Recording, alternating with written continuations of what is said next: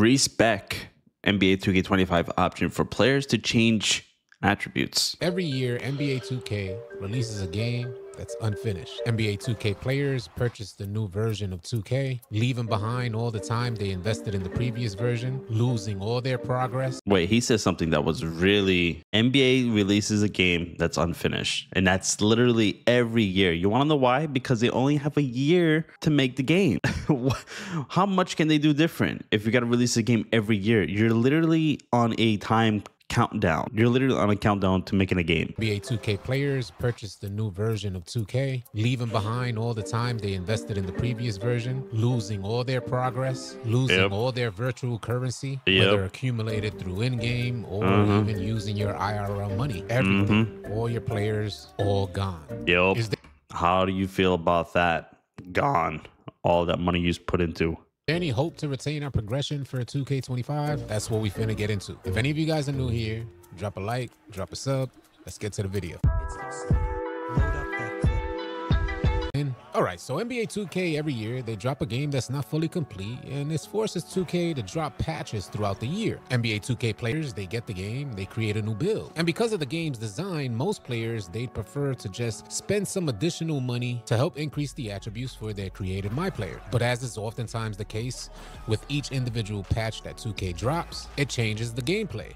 It does. I mean, it's like a total different game. And when it becomes that total different game, at the start, it's always really good. And then once they keep patching and fixing and trying to fix, it becomes really bad. which in turn either mitigates or increases the effectiveness of our My Player. More times than not, a lot of our My Players that we create prior to a patch are rendered less effective than they were before the patch. Has this happened to any of you guys? If any of you guys could take your best guess, what do you think would be a good solution? A fair compromise for players to make adjustments to their build considering the gameplay has changed significantly, and for 2K to even take this into consideration, 2K being money hungry, a fair compromise would have to offer 2K something in return. 2K currently having the player base in a chokehold, in-game transactions currently add up to about 80% of 2K's revenue. In other words, there needs to be a good reason for them to even consider a compromise. Um, they're never going to compromise ever. I mean, that's just the way it is. And and let's we, we have to get over the VC statement, guys. Uh, That that that is never going away. They're never going to make it cheaper. If anything, they might stay at a price where it is right now, or it's gonna go up. It's either gonna stay where it's at, or it's gonna get more expensive. Either one. They're they're, they're not lowering their prices ever. So we need to stop trying to fix VC prices. It it won't happen what they need to do is implement some stuff into the game to where you don't spend that much VC, right? You can start off with that. The most important thing is gameplay. We're talking about giving 2K players options to keep up with all of the changes coming from patches throughout an annual cycle of 2K. Over the past few years, players have had to dish out even more money to create new player builds just to be able to compete and keep up with all the gameplay adjustments. because your game costs so much and builds cost so much to create.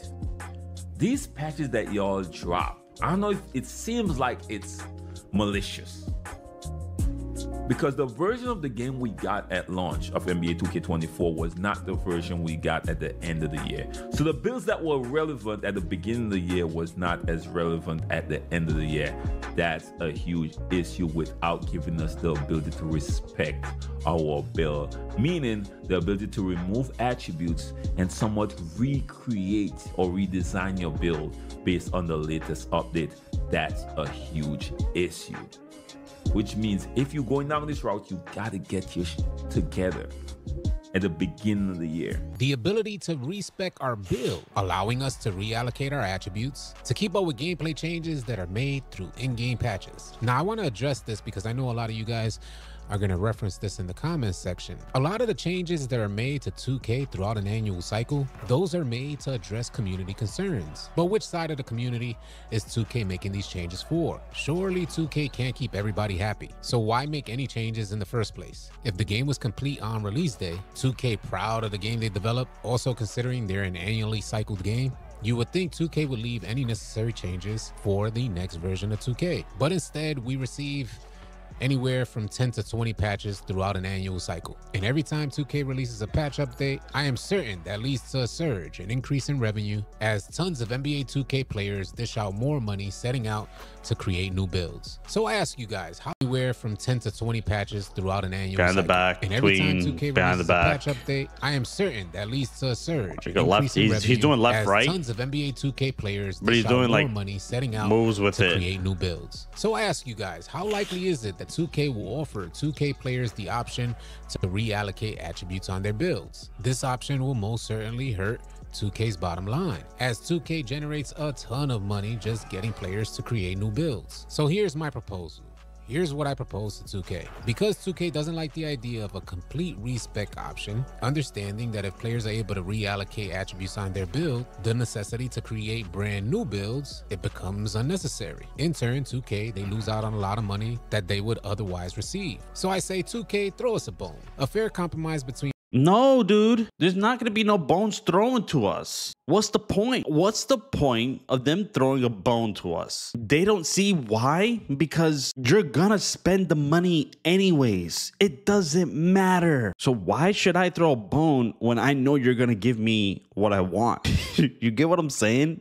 For what reason? There's no errors. There's no mess ups. There's, they're a billion dollar company. And if you're a billion dollar company, then you're doing pretty good. So you got to stop, man. You got to stop with this VC stuff. players who are dissatisfied with 2K's current builder system and still allow 2K to generate a profit off for players making builds. I say give players the option to, at the very least, adjust and reallocate 10 attributes on their builds. Oh god, you wish in your dreams. There's no way that would ever happen, and they're not gonna take your idea because it just beats the purpose of somebody creating a new build. It's it, this is a terrible idea. Terrible. Hey, hey, no, for you, for for us, it's great. For us, it's amazing. Yes, that's a that's a great thing. That's not throwing a bone. That's like throwing a whole steak.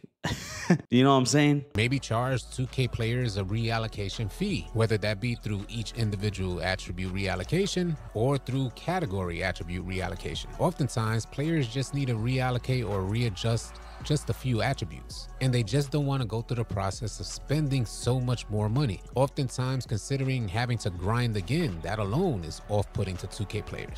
they don't think it's off-putting because you you have a point guard build, right? Yeah, and you have to start all over to make another uh, player. They're thinking about yeah, if you want to make another player, make a power forward, make a center, make a small forward, make shooting guard. There's five different positions you can make from. So if you really think about it, you creating another build of your same position, you're the one that's losing. Hey, I.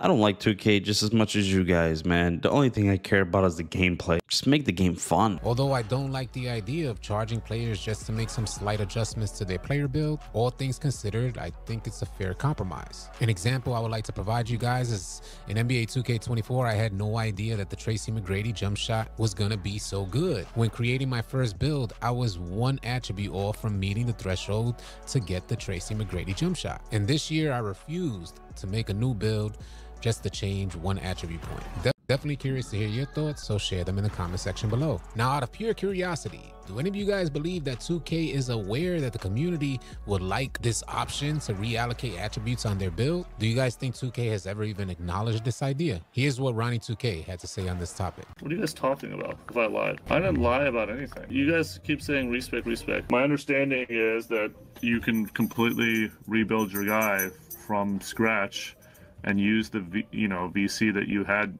used to build your guy originally. What the he- What did I just say? What did I just say? This is exactly what I'm saying. This is exactly what I'm saying, dude. It's not, uh, you're not going to get them to respec. There's no way. Why would they? Exactly. Make a new guy. Make, make, there's five different positions, positions to choose from. Make a new character. That's what they're going to tell you to do. They're not going to tell you to, uh, uh, yeah, sure, yeah, respec so we can lose money.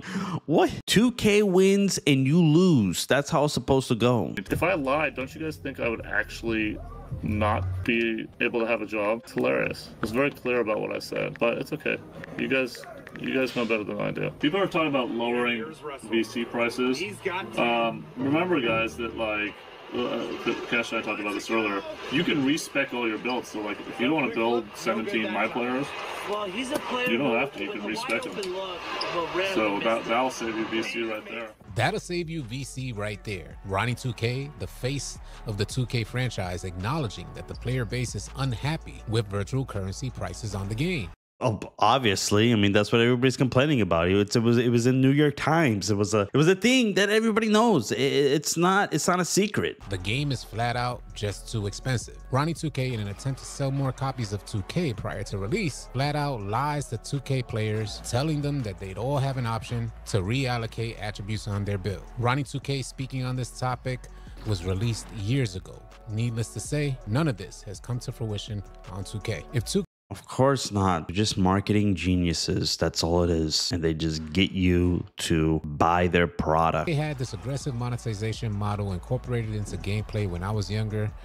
I just wouldn't have been able to afford it. Asking my parents for 70 to 150 dollars just to buy the game and then asking them yet again for an additional 100 dollars to create a new build, trying to get more money throughout the year as I would want to create more than one build. In my household, it wasn't even a possibility. I would Wasn't in mine's either, but I mean, there's a lot of households that would. Uh, that, uh, that's why they raise their prices every year because it's they could. It's working. It's not like it's not working. There's no reason to even complain about it. What you guys need to complain complain about is the gameplay. The gameplay is horrendous. would have never gotten an opportunity to even experience 2K. $315 for an Xbox game? This is $315! Exactly. See, look, look. This is what I'm saying right here. Three hundred and fifteen dollars. If my son did this, I'm whooping his ass.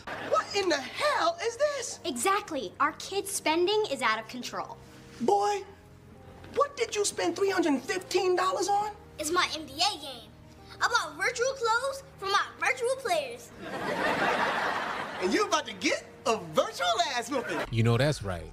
Ain't no way we were spending that type of money on a video game. Fast forward to present day on 2K, this has all become the new norm. As always, I'm curious to hear your feedback on this topic. Sound off in the comment section below. If any of you guys are new here, drop a like and a sub. Um, it is the new norm. Uh, I mean, it's not even new at this point. It's it's been the norm, and it, there's just no fixing it. Um, we need to stop complaining about VC and start to complain about gameplay, guys. You got you got you guys no, like nobody's understanding that if the gameplay is really really really good, then it's worth it to get all that stuff to spend all that money on VC. The reason why people are complaining on VC is because you're not really enjoying the game because your build sucks and you want to make another build, or you're tired of that build. Yeah, you got my I got my point guard build. I bring him out whenever I want. I want to bring out my power forward build. You know what? I'm gonna grind for that power forward build because the game is fun. The game is fun. The game has not been fun. Really think about it. The game has not been fun. So that means if the game was fun, nobody wouldn't be complaining about VC, is all I'm saying.